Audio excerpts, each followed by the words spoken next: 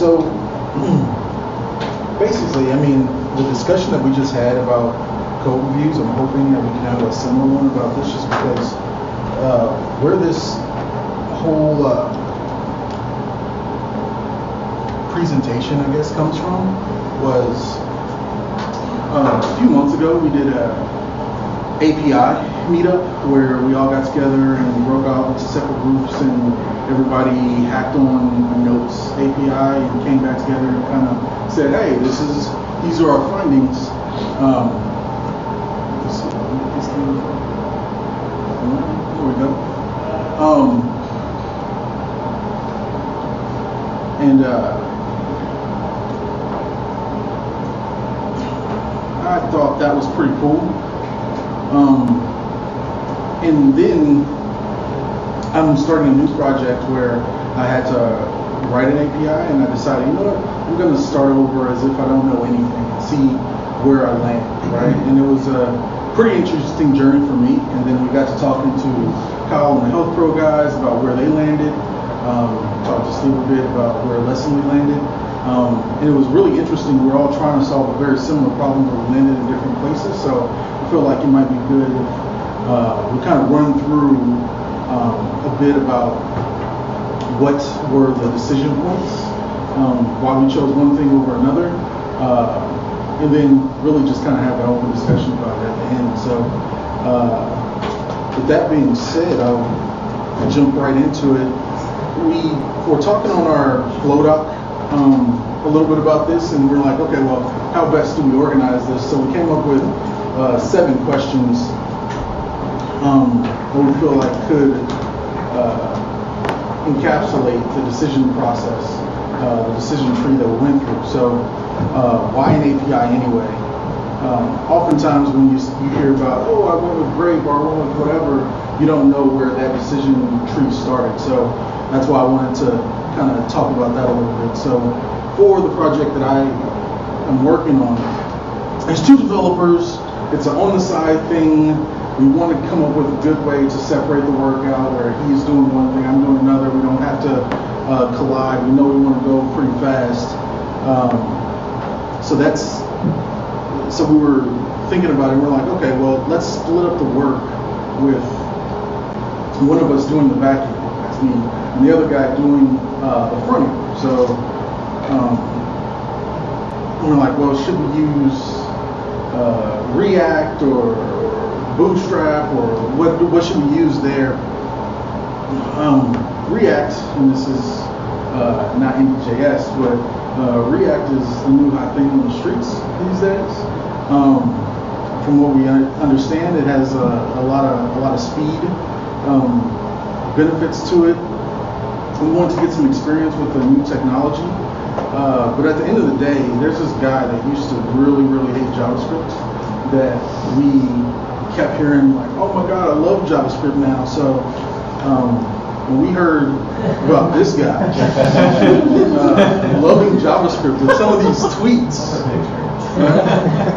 like So that one, Really? that one in the upper left, that's not me. The up, one in the upper left uh, corner though was my very first tweet ever.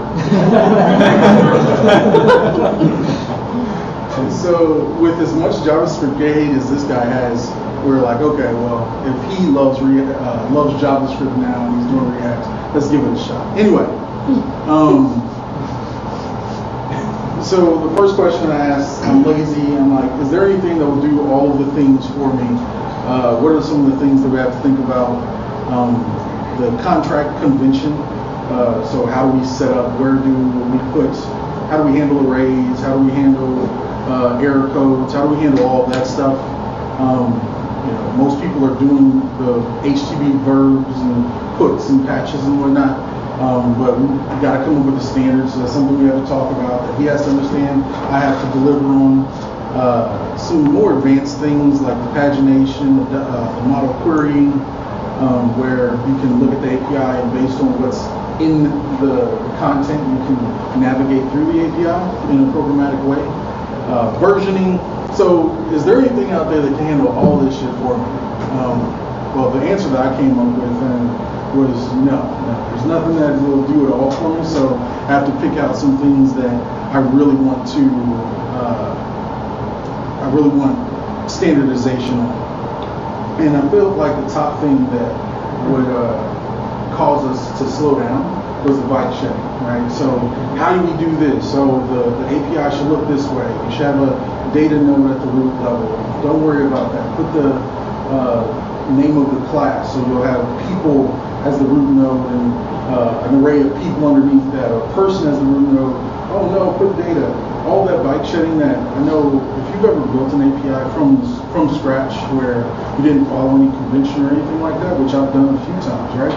Um, these are conversations that are just really frustrating for me because it doesn't get to the value of the thing that we're trying to do. I'm about trying to figure out how to get the thing to market, how to how to build the thing, ship it, get it out the door. So how can I get rid of the bike shedding stuff and focus on what matters? And so I started looking into a, a couple of the, the different conventions out there. Um, it's really like opened up my eyes because I didn't realize that these things existed before this point. So JSON HAL, I guess, has been around for quite a while now. Um, those of you who, know what JSON HAL is, and it's basically just gives you a, a framework to on where you put certain things, where you put the links to the other objects. So uh, within the API, send out a GET request to get the person object, right? You're going to have sub nodes in there. You're building a shopping cart. You might have person and in your car, right? How do you, how does that all play? How does it all work? Um, well, JSON HAL was the first in the community to try to uh, standardize that. Well, JSON API, um, those of you who've heard of Yehuda Katz, uh, there's a, a, lot of other really intelligent people in there, but Yehuda Katz is one of the core contributors to Rails, and um, uh, him and a few other people, they came up with JSON API, uh, which was basically JSON HAL, but uh, in their words, better, right? They, JSON HAL doesn't deal with uh, JSON HAL deals with just how the data comes out with GET requests. It doesn't deal with how you should do your put requests and your changes and your patches and things of that nature. So they felt like, you know what, we need to come up with something that's a little more all-inclusive. Uh, so they came up with JSON API, which um, the spec is, uh, it's not a light read, but it's really easy to read. It's a quick read. Um, and in my decision tree, I, I, I, just fell in love with it. You know, when I saw it, I'm like, yes, this is absolutely what we're using. It handles errors. It, it does all of that. And just um, probably two months ago, went to version 1.0. I mean, they were doing a lot of thrashing about for the last uh, year or so. They just went to 1.0. So, and their uh, vow is that they only add, they won't modify anything, so it'll always be backwards compatible. We'll see if they can actually do that, but that's their vow. So, um, so then, okay, so I have the convention set up. Do we use Rails? Do we not uh, use Rails? Um, I know that you guys ended up with Grape, right? So I won't discuss my decision tree around that, but for us, and Miles, I was talking to Miles the other day, and uh, you know, again, I'll let you talk about it, but he has a really interesting way to use Grape with Rails together. Um, but I didn't know about that at the time, so I'm like, look, we, we know that this entire app is not going to be a single page app. We're going to have some uh, regular pages to stand up. So we're just going to use regular Rails, and uh, now we have to figure out a way to, uh, is there something out there that will implement this JSON API stuff for us, right? Um, so we know we have a person object and a card object and all the rest of that, but how, where do we put all those things? And I'm sad that, that Kyle isn't here because we had an interesting, interesting discussion about this. Oftentimes, um, when I'm thinking about presentation with MVC, I'm thinking about presentation, it has to be in the template, right? The, uh, the of what attributes are there, how they're all set up, all that stuff has to be in the template. It's just the way that I thought. It was dogmatic. It was just uh, there's no other way. So I'm definitely using Rabl. I'm definitely using JBuilder, something like that, right? Well, I started researching and uh, active model serializers was the first one that I ran into, and they just don't do that. They put all of their uh, definition of how the API should look from a rendering perspective in regular Ruby classes. And I thought, okay, this feels a little wrong. I feel a little dirty by doing this, but um, I love the fact that they have the adaptive pattern. So if we decide to uh, JSON APIs crap, and we want to go to uh, JSON HAL or some other, we want to write our own adapter, we could do that. I love the flexibility there. Um, but honestly, I just uh, it wasn't as mature as I wanted it to be. To to use it, there wasn't enough out there for for what I needed. Um, so I started uh, looking into Roar. I actually went to uh, the IndyRB Flow Doc and asked this question to everybody in here. If you're not in Flowdock, jump in there. It was extremely valuable, at least for me. We had a really good discussion. That's when I realized these guys were using Roar. Um, and I had heard about the Trailblazer stuff uh, a little bit, which, um, quick tangent, Trailblazer, if you've never heard of it, um, basically what they're trying to do is they're saying that there's not, I don't want to say there's not enough abstraction in Rails, but they feel like things should be organized better. It's a concept-oriented uh, architecture. Have a lot of really cool gems that, are, that are really mature. Excuse me, Trailblazer is trying to just take them all and package them up into one kind of like meta framework on top of Rails. Um, I think this is crazy interesting, and if anybody has experience with it, I would love for you to give a talk on that thing. Uh, and I told a couple people that I was going to do this. We, we have some issues coming up with what topics to talk about during IndyRB. Um, so if you have a computer out in front of you, please go to ndrbuservoice.com, put something in there, vote on the stuff that's out there. We need help trying to come up with the ideas, right? Because uh, we thought this was a pretty good idea. I would love somebody to talk on Trailblazer, but a quick plug for the future of IndyRB.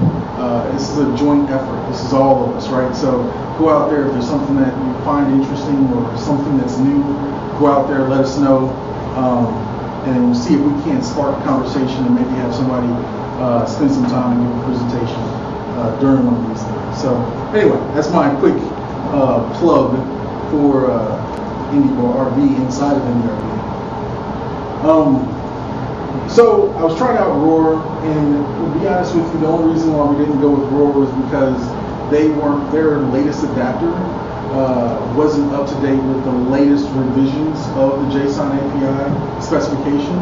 Uh, in the latest version, you have to have a data root node, um, but older specifications, if you wanted a list of people, the root node would be people right? So now the root node is data, and inside of that JSON object, you have a type, and it's called people, right? So uh, the implementation of the Roar gem, the JSON API adapter, uh, still use the old version. I didn't want to use the old version.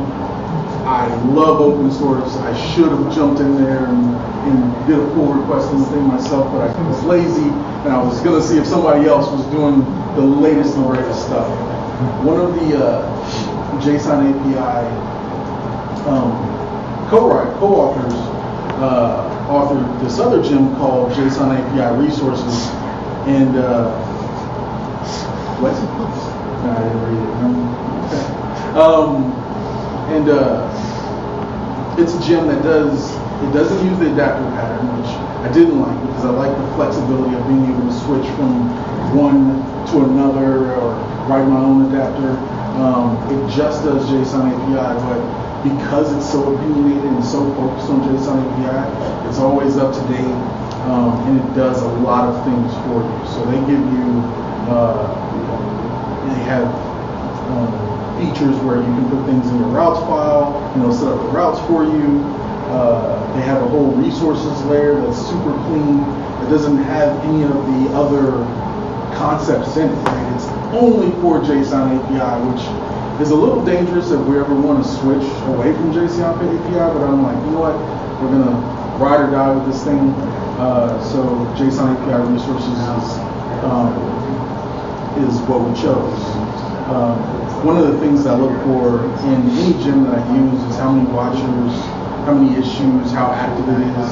uh, and this one is extremely active. The, the guy who was the co-author of JSON API and also the author of JSON API Resources, Jim, uh, is constantly in there multiple days out of the week to uh, fix things or have discussions. So, um, though not nearly as mature as Roar or even active model serializers, um, it gave gave me a lot out of the out of the box that I could just run. Um, so the last thing is, you know, just to retrospect on it a little bit. Um, like I said, the JSON API specification is awesome. I love to debate, as anybody who's worked with me knows, but that can get in the way of productivity, right? So if there's one area where I can have people smarter than me who've made some decisions about how things should interact, um, that doesn't have a direct impact on the features that we're building, you know, those are things that I want to utilize. So JSON API spec is awesome. Um, using classes instead of templates, uh, this is something that I never even thought about, right? So this is, again, uh, I was having a conversation with Kyle, loved his uh, take on it because he was like, yeah, I liked that. I'm like, that seemed so foreign to me when I first started. So um, that's something nice that I learned throughout this uh, process. And then just open source in general. Like I said, I, I wish uh, I would have been a good steward of the community and uh, did a pull request on the Roar JSON API adapter. Decided to go with JSON API resources. I have every intention on helping them at some point, but um, but open source just in general equals awesome. I don't have to say that to this room because most of us are Rails developers and we've been Rails developers for a while, but if we come from a, a language where that isn't a part of the core culture, it's so powerful. So, and it just reinforced that going through this whole tree. Um, I think that is it for uh, my decision tree. And again, I wanted to see if Miles, I know you guys ended up with something different, and Steve uh, to kind of give their uh, Yeah. little history. So Kyle jump in Sure. uh, whenever, but um, actually for a little bit here. So at Health Pro, first of all, you should know that there's some baggage that that's, that ultimately led to uh, some of the decisions we made, or at least influenced them. Um, we Kyle converted a Ruby on Rails application with an Angular front end into a Ruby on Rails with an Angular front end, and then from there we have moved away from the Angular, which was um, not necessarily Angular's fault, but it was some somewhat questionable code decisions made in the Angular. We've moved from Angular to React. Um, so by the time I came on board, Kyle had already done all of the work to convert from Ruby on Rails to Ruby on Rails. Um, and we were kind of doing some, like, paying some technical debt uh, on the Rails side from an API perspective, um, as well as starting to convert things to React. Uh, but while paying that, that technical debt and trying to refactor some of the API stuff, um, we also needed to make sure it continued to work. Like we couldn't, obviously we couldn't break the Angular front end, quite frankly, we weren't interested in um, refactoring the Angular stuff because we were wanting to get rid of it anyway. So that would be kind of a waste of our, our resources. Um, so we messed with several different things. I'm pretty sure we tried all that we could find that was out there. All of those, yeah. Um, there were, I mean, there were performance concerns uh, that came in because there were some pages that loaded. It wasn't so much that they loaded a ton of, um, like a large number of records, but but each record then had several like essentially sub records and related um, records that were being pulled in as well. I mean, so ultimately there was a you know uh, flattened out a very large number of records. Uh, so things like JBuilder performed very poorly, um, and we we we we got to a point. Let me tell you a fun story about what I did one day. one day we spent the day finding out that if you want writing just SQL that is PostgreSQL compatible, you can get JSON. Um, and it is so fast. It is also unreadable by human beings.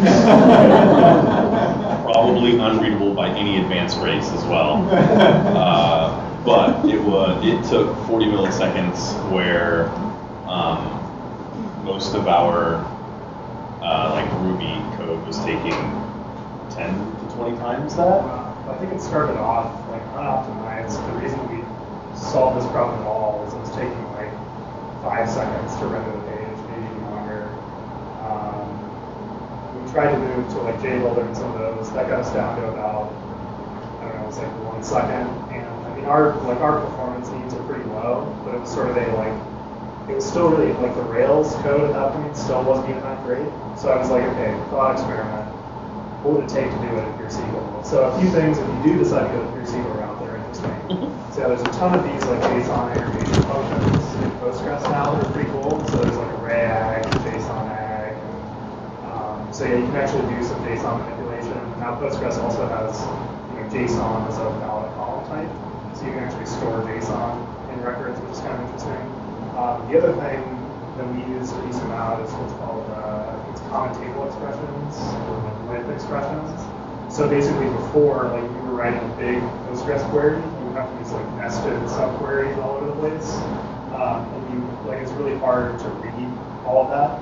But with common table expressions, you can extract those nested subqueries out to the top or wherever else you want to do with this subquery as this name, and then you can just drop that name into your other Postgres. Um, so even if you don't decide to go the full Postgres route, going to common table expressions is pretty cool. Because yeah, so so yeah, it was basically the trade-off between 40 milliseconds and 40 lines of code. Um, was kind of what we were evaluating, I think. Yeah, I think we'll, yeah. Can I kick in on that too? Because Sure. I went through a very similar thing not too long ago.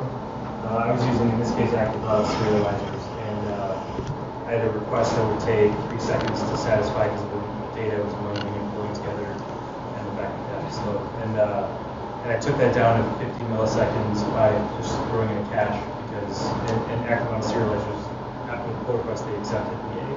Uh, integrates with Rails cache uh, so that you can just it'll take the raw JSON string, and just shove it in Redis or whatever, and then just pull that out. In our case, the data didn't change that frequently, but I expired it three hours or whatever, and, and that took it from three seconds down to like 15 milliseconds as well. Cool. And no SQL, so none. I did not have to write any SQL. So we we did end up trying active model serializers. If I remember correctly, our only real problem with active model serializers is monkey patches Rails to it monkey patches Rails to force, if I remember correctly, to force that there is a root node of the name of the model, and that broke our quote unquote legacy Angular stuff as much as Angular 1.3 can be legacy today. Um, that partly depends on the adapter and it made me shake my fist at active model serializers for monkey patching Rails, and so we went to Roar. At at least that's how I remember it. Huh? Pretty sure you can find out some big, but yeah. you It depends on the adapter you use. One adapter you can't unpig it, and the other one you can. Active model serializers in general. So it's awesome that you're talking about this because today we are researching and going through all this stuff for our current project, but we're also versioning the API, so we're backwards compatible supporting it as we Yeah. move from a nested structure to a flattened structure. Mhm. Um, and active model serializers is a bit of a hot mess. I would definitely recommend, if you can avoid it, please do. The, the, the project itself is a bit of a hot mess. The way they're managing the versions and the releases and all that stuff, it's just, it'll break on you really quickly across point releases or like patch releases, I mean. And one, one branch supports this feature, but the, the next version up doesn't, and then the one after that does again, and it's, it's kind of a, it's a little bit, you gotta, you gotta be okay with that if you're gonna use the Right. project. Just Um, from experience. that so I, I haven't had, I probably haven't used Roar as much as you have, Kyle. Uh, I do like, Kyle said he thinks he likes Roar, he just doesn't trust it. That's about where I'm at right now. So like on a scale of one to five, I'm like a three out of five. I don't know if that's like the peak for JSON generation libraries in Ruby right now. That's like what we That's aspire to. yeah. Yeah. Um, but yeah, I mean like there's there's enough places where I've had to kind of do some gymnastics to generate the kind of SQL or the kind of JSON that I want to generate that you know, I, I'm not in love with it, but I'm not ready to break up with it yet. Um, I will say as well, um, if I can hype vaporware for a moment, um, we've, at least, we've been kind of looking at, so our, you know, our front end is in React. Um, so we've been looking into like the GraphQL and uh, React Relay stuff that's been coming out over the last month or two. Um, there's some pretty interesting stuff in there specifically around versioning APIs, although it's kind of an all-in um, with GraphQL like building that. But um, basically, every component in your application has kind of a declarative dependency on what data it needs. Um, and then you define a schema, and it kind of automatically, you know, you, you basically define some mutators and accessors, and it kind of serializes and deserializes your data across the front end and back end, almost like a you know meteor type thing, except there's security and stuff. um, so um, yeah, it, they just released technical previews for both of those, but we're going to be looking at those a little bit over the next month or two. So you know, this isn't IndyJS, so no one cares, but um, but yeah, that might be something interesting to talk about because I'd, I'd be interested to see if there's a, a model where that applies to Rails at all for version. So anyway, we'll keep we'll keep you posted on GraphQL if we. I'm gonna attempt to provide a transition to, to you, Steve. Um, so on, an, on another IANS project that is very small and has um, it, has very very constrained API needs at the moment. Um, there is a there's an iOS app that needs to get a little bit of data from the app and put a little bit of data into the app. Very little. Um, I went to it great because you can actually there's a there's a, a larger Rails app component, sort of an administration interface, and you can mount Grape within your Rails app. Um, uh, and Grape gives you some versioning options kind of out of the box, uh, and various other nice options uh, around like specifically um, like what data is required when someone is making an API, API request uh, and responding uh, with the correct error and all that sort of stuff. So that got me uh, for this small project that has a uh, similarly sized budget. Uh, that got me moving very quick and got to where they need to be very quick. And I know you guys at Lessonly use Grape quite a bit, is that right? That is correct. As well as active model serializers. Yes, and Rails. So we do the same thing. We've got our main Rails app that does all the goodies. Uh, but wanted to kind of add an API with some limited functionality. You can't do everything, but the important stuff. Uh, and so we use Grape. Uh, just mounted it at, as a Rails engine, maybe, or mounted it in the routes file because it's a rack app. So it plays nicely with all Rails and everything. Um, I think the reasons we chose Grape were one, because I was on your team a couple months ago at DRB, and we built an API in like an hour and a half, which is pretty great. So we're like, all right, that sounds good for you know limited functionality. Just want to get it out and see if people use it. Uh, and Grape did deliver. It was uh, really fast to develop with. Uh, it gives you a ton out of the box, so authentication, versioning. Um, managing headers and things like that. Um, it, I have the sense that it's maybe a little too magic.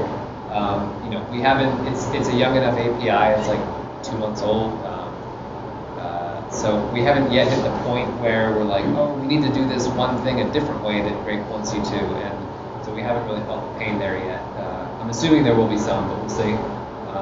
Although we're starting to get there. Grape also, uh, sort of following the rack philosophy, has uh, like a middleware stack. So if you need to do something to your API before requests come in or after they go out, you can just sort of build a little middleware that transforms um, something about the request. So it's it does a lot for you, but it seems at least, and we're just getting in there now. But if you need to do your own stuff, it will sort of get out of the way. Um, and then yeah, I think we went with active model serializers. Uh, not sure why. I think it was maybe in in the app already. Uh, Kyle, you might remember some of this. we loved it. We loved it. We've not yet hit the. Uh, you know, been using it long enough, I think, that we try to update something and everything explodes. But I'm sure we'll get there, and it'll be fun. Um, but yeah, I mean, it's just uh, sort of um, like you said, Andrew, with like having just a Ruby class uh, instead of a template file, um, it just seems like it leads to less code. You just say like, this thing has these attributes and this association, and it sort of magically builds your JSON response. Um, but again, sort of like uh, with Grape, it's the kind of thing we haven't yet hit the point where we need to go really custom and override a lot yet. So maybe there's some pain there we're gonna, we're gonna feel later. Um, but at least you know, so the Grape um, active model serializers route let us build an API really fast. Um, it's pretty performant as far as we can tell. Um, and uh, yeah, it was it was what we wanted. We wanted something that was kind of gives you a lot out of the box. You can stand up really quickly, and those two delivered for us. Matt, does GitHub even have an API? Can, can you tell us Yes. Anything about it? It's, uh, it doesn't use an off-the-shelf framework. It's old enough that, and mature enough that we just. I don't know how exactly it's all put together. It's, it's a Sinatra app that lives inside the same process that the Rails app. Um, but it gets routed through the Rails app. Okay, Right, cool. There's a lot of custom stuff to the authentication and delivery. You, um, when you write an API endpoint, um, you end up creating a hash and we're an array and returning that. So you just return a phone, you got it, to the framework, return a phone. Okay, cool. That's kind of, that, the last thing you said is kind of what I'm doing in this, um, this tiny thing for the small client, but I didn't mention it because it feels somewhat wrong to me. But, Grape, Grape sounds interesting to me, and then using just a really sort of serialized receiver set plan with the objects, literally, and then you do two JSON. um, Yeah. Seems like a pretty sane way to. uh, You probably get into reuse problem, I, I haven't looked at it yet. yeah, I have a question. Is there any technology um, that somebody is like super excited about uh, API related that hasn't been brought up yet? Didn't, so Amazon just released a new service, right, that's for APIs, and that, I just saw like a blurb on it, and apparently it's, uh, say what it's called? Lambda? Not- There's Lambda's like the automatic scaling thing, this is yet another thing. I think it was called API Gateway. API gateway, I And think it is was, the term. from what I read about it, is it seemed like you could build a whole API based just on Lambda functions. So you could write the like a Node or Java code and have it as a Lambda function, and then and a call to this API Gateway magic thing, where you know like this request is going to get routed to this little snippet, and I'm going to run it on not a real computer. And it had a version. Yeah, and it had, it had a versioning facility too, which is one of the bigger bugaboos about handling APIs. and- I gave it a cursory, can you say it again, I'm already spacing. I, I'm pretty sure it's called API Gateway. Yeah, that's what it is. I think too, you could do some things that uh, you didn't have to write everything as Lambda. It's like if you had a, an old API, that you could hook it up to kind of like reverse proxy whatever garbage you had behind it, and then you know, use new, or you could write new things in Lambda or whatever else you wanted to, and kind of sit there with it, and, and you could come up with a unified API if you had, if you wanted to use. Why, why compromise? Right. Yeah.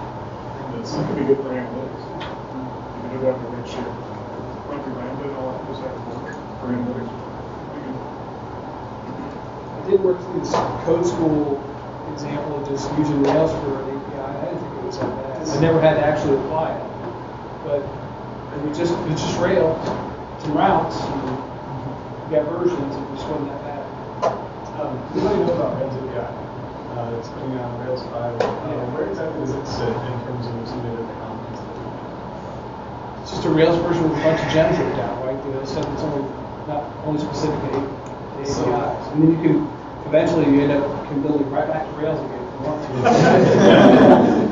Where- We've done this magical journey, look where we've been. Yeah, it's like, why don't you just, just bam, I'm back at Rails. I, I don't know. so it was like a separate, like a, project somewhat fork on Rails. Fork is not quite probably the correct term. Is it similar to Trailblazer, where it's like kind of like an alternate collection? It's like the, the That's kind of It's what Minecraft, Minecraft Minecraft, Rails It- APIs, it's- or it's. Everything in it is Rails, but just with less. And I think it was Yeah. even some either Rails core members or people like big in So the as Rails those community. extracted out like a lot of different components of Rails into their own subdomains and just kind of like bundle those together in what we know of as Rails, they just realize that they can omit some of those and have something that's more, more focused for just API building. And David Heinemeier Hansson was kind of snarky about it for a while, but now it's, now it's part of, Now it's part of it's a Rails way you can build right? Rails out of the box. I think it's basically a generator with Rails 5. So you say Rails new dash dash API uh-huh. and get all that stuff ripped out without having to like depend on a separate And gen. it'll maybe use Andrew, didn't your group play with it when we were doing the, and you were like, whatever, it's stupid? Oh, we did start with it, and then we were like, oh, this is just Rails with everything worked out, so we're not gonna do it. We're just gonna use Seems like- regular Rails. Sorry, it seems like generators can be useful, at least if they utilize like, um, you know, similar framework or standards, right? That, that can come up like you're talking about. um, Your controllers APIs. look quite a bit different. I mean, than your controller, like if you Rails G controller, uh, I know they look significantly different. Just from the perspective of, there was no, um, it was just two JSON and all the things instead of, I will say, um, the, the Grape DSL, like, I don't know if you're familiar with the squint test, where you kind of push your computer back from you, you, you kind of squint at the code, just to like, there's always a certain like cadence to an extent, to the, to a, to a, a file full of Ruby code. Um, and if you were to do that by looking at the, the way they typically, um, the example, like Grape API stuff, you kind of be like, oh, that's terrible. But like everything's in there. It's a self-contained. Like you, you can you you know that endpoint that you're looking at and everything it does and everything it requires. Um, and I, I at the moment I'm fine with that. So you, you mentioned Action Cable kind of off Oh, yeah. earlier. Is anybody actually using like WebSockets for APIs instead of Meteor. HTTP REST? Is anybody using non like highly non-RESTful endpoints? I know you were No, we have very little. no, you were talking about it in the context of mobile mobile app you were working on a long time ago, like doing very like client-specific endpoints. Uh, yeah, there's, there's a school of thought that's like, if you're making an API for general consumption, like if you are GitHub, right? You have to make endpoints for every resource because you're not really sure how people are going to combine them. But if you're making the API for a mobile app, like you can make it so that every screen in your mobile app is one API call, and you get resources combined, and that makes it maybe easier to make your mobile app. So that, that breaks maybe from the pure rest of every entity has to, you know, you have to call slash people to get the person and then slash courses to get courses and then glue them together in other ways. I'm currently a huge fan of that idea based on my service coding. So, I call that a web API or an HTTP API. I stay away from the word REST for that, just to avoid the discrepancies. It's really not REST, it's just JSON over HTTP, you know, which works Right. fantastic in like ninety percent of the cases, especially when you, if you own all the pieces involved, or at least own the lifecycle. And We're working on a mobile app where it's all being published internally, so it's not in the App Store, uh, except Google one might be, no, it's not even in the Play Store, they all install it locally. And so we know who's using what, and we can, we put built into the API on the client side, right from the start. If you get back a certain HTTP response, that indicates that the API is deprecated and you haven't updated like you were supposed to. And so we just have that handle a special case, so show a certain message and be like, you can't use this app. And that, because in that case, we can then support basically two versions of the API at any given time while we let everybody upgrade. And then after they're, most of them are upgraded, we can just get everybody else. But in that case, you know, the, the, some of the benefits of REST and the discoverability are more work than it's worth. I call that a web Another. So I have a side project that um, uses uh, Pusher service for doing sockets. And um, if you're a Rails developer and you're saying, man, I want to mess around with sockets and web sockets and, and Rails 5 haven't showed up what they're going to give us.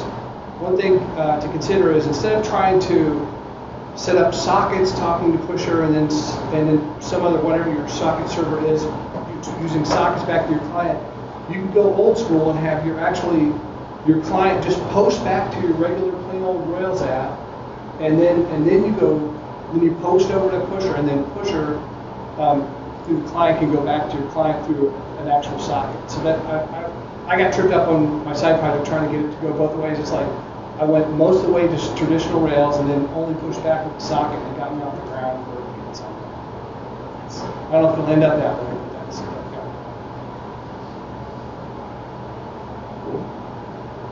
Any questions, concerns? Um, I'll say one more thing about Roar really quickly, which is um, they're actually, so Roar is built on top of another gem, I think it's part of the Trailblazer architecture called Representable. So I found sometimes when I'm working with Roar, I also have to look at documentation for Representable. Um, I That's know reprehensible. Yes, that sounds like a bug, not a feature, but I don't know. Um, so if you do decide to look at Roar, you may also need to track down Representable. It's by the same guy, so. One, one more thing I wanted to mention, totally unrelated to any of that, but just someone triggered it, was uh, earlier we- you were talking about the different serializers, but also um, uh, well, when you're one thing, one important thing to consider when you're considering a serializer library or something like that is versioning because there's uh, gems and tools for helping you to version your API from a HTTP perspective and your controllers and like what everything is doing. But a lot of times that one thing I'm finding now is where that breaks down is the serializers. Do they support versioning the serializer? Because usually if you're making a breaking API change, it's going to usually involve some data format representation significant. And that's one where, like with active model serializers and other things, we're trying to, and we just haven't gone down the full path yet, but trying to figure out, okay, so now we have a whole new version of our API.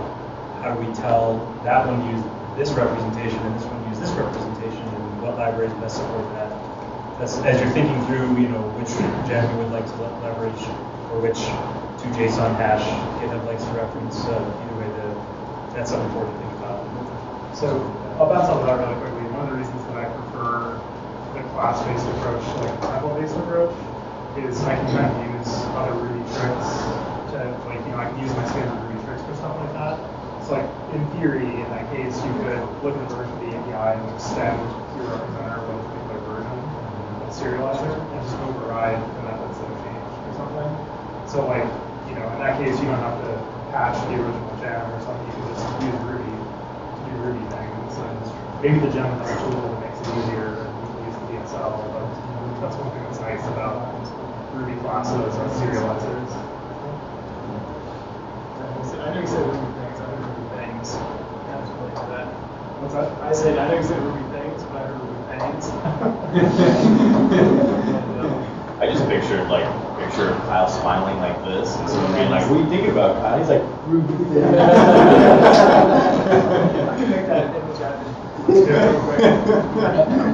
I'm not one to pick, to toot my own horn, but I'm pretty good at Photoshop. One of your Photoshop send it up ask presentation.